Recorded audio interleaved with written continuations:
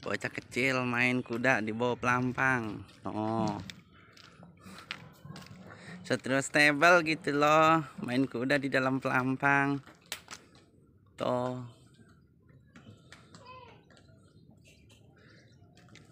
pentokin lah. Orang mana ini? Pisan mantap, oi. jangan kenceng-kenceng itu mah cuman buat ini buat apa komando pecut komando itu namanya. Go kanan lebar belok ke kiri. Dasar bocah. Sono jalan cepetan.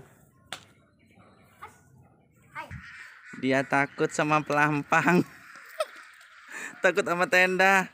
Milihnya jalan di luar. Aduh. Ntar juga mogok tuh.